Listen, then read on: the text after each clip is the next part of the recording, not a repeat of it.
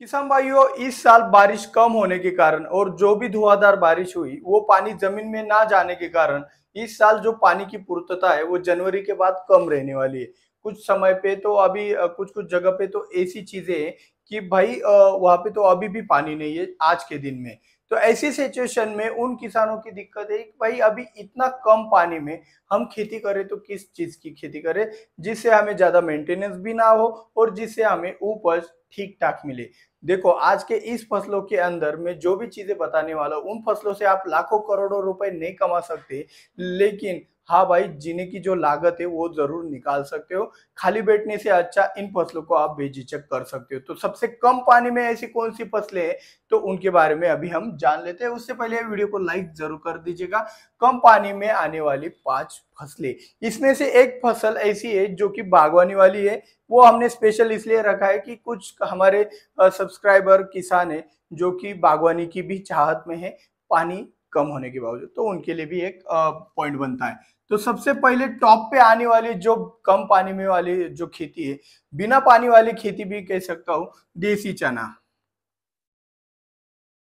इसको पानी की बिल्कुल भी ज़रूरत नहीं है, अगर देसी चना की खेती करते हो तो ओस पे भी ये आ जाता है, इतना अच्छी तरीके से ये फ़ार्मिंग है। और अगर आपके पास ठीक ठाक पानी है थोड़ा सा तो आप काबुली चना भी कर सकते हो।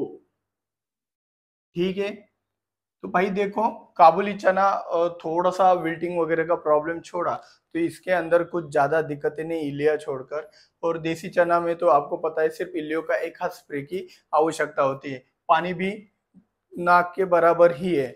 तो यहाँ पे आप देसी चना या फिर काबुली चना का इस्तेमाल करके अपनी खेती में अच्छा उपज निकाल सकते हो। चने की खेती इसलिए महत्वपूर्ण बन जाती है, जिन किसानों के पास पानी नहीं है, बहुत ही कम खर्च और बहुत ही कम पानी में आने वाली फ़सल हो गई। काबुली चना इसलिए पॉपुलर हो गया है। और हाँ रेट भी ठीक ठाक और मुनाफा भी अच्छा हो जाता है। जिन किसानों के पास एरिया ज़्यादा है, उन किसानों के लिए सबसे बढ़िया वाली फ़सल ये रहती है। ठीक है। दूसरी वाली खेती है जो कि थोड़ा सा ठीक ठाक पानी है आपके पास। इससे थोड़ा सा ठीक ठाक पानी है। उसके लिए आप बाजरा का भी एक खेती कर सकते हो, जिसे महाराष्ट्र में बाजरी कहा जाता है। तो बाजरा का भी खेती अगर आप करते हो तो अच्छी वाली बात है। बाजरा की खेती को डिमांड आ रहा है बॉस क्योंकि मिलेट प्रोग्राम आपने गवर्नमेंट का देखा होगा, वो प्रोत्साहन कर दे रहे क्योंकि भाई प्रोटीन लेवल हो गया या फिर आयरन लेवल इन्हीं जैसे फ़सलों के अंदर से हमें ज़्यादा मिलता है। तो इसलिए बाजरा का जो भी रेट देखोगे आप इधर जो भी धान्य है, उससे ज़्यादा ही मिलेगा। तो बाजरा का भी आप खेती कर सकते हो। इसमें बाजरा में सिर्फ़ एक ही दिक्कत है कि भाई आपको एक थोड़ा बहुत इल्लियों का दिक्कत होगा और साथ ही साथ पंछियों का भी थोड़ा सा दिक्कत होता है। सूखा जब पड़ता है, तब पंछियों का दिक्कत थोड़ा ज़्यादा ही रहता है। तो अगर पंछियों के लिए आपने कुछ जुगाड़ लगा लिया तो बाजरा का भी फ़ार्मिंग आपके लिए अच्छा रहता है कम पानी में। तीसरा खेती अगर हम बात करें कि यार कम पानी में आने वाली खेती कौन सी है? तो सबसे कम पानी में आने वाली खेती हमारे तीसरे नंबर की है गेहूँ। जी हाँ आप गेहूँ की खेती अगर करते हो तो कम से कम दो तीन पानी में ही आपका फ़ार्मिंग अच्छे से हो जाता है। गेहूँ का प्रोडक्शन और पैसा दोनों ही अच्छी तरीके से हो जाते हैं। तो ये जो जितने भी हम ये फ़सलें लिख रहे हैं ना भाई, आप इसको स्टोर करके रख सकते हो। अगर आपको चाह कि भाई रेट नहीं है तो आपने स्टोर कर लिया। जब रेट आएँगे तो भी आप बेच सकते हो। तो इतना पावरफुल वाला सिस्टम हमने यहाँ पे निकाला है कि भाई जो फ़सलें ऐसी चुननी की जिसमें मेंटेनेंस कम ना के बराबर हो, कम से कम मेंटेनेंस होना चाहिए और ज़्यादा से ज़्यादा उत्पादन यहाँ पे हमें मिलना चाहिए पैसों के बारे में। तो चौथी जो फ़सल है वो बागवानी वालों के लिए, बागवानी वाले किसान जो होते जिनके पास पानी ना के बराबर है, लेकिन मन में इच्छा होती है कि यार मेरे को तो बागवानी वाली फ़सल करनी है। तो सीताफल की बागवानी की फ़सल आप बेझिझक कर सकते हो। सीताफल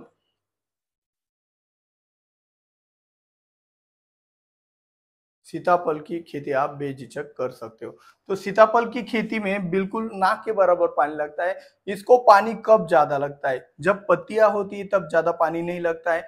जब जब आपके खेती के अंदर, आपके सीताफल के ऊपर, सीताफल फ्रूट लगे हुए होते हैं तब इस फ़सल को थोड़ा सा पानी लगता है।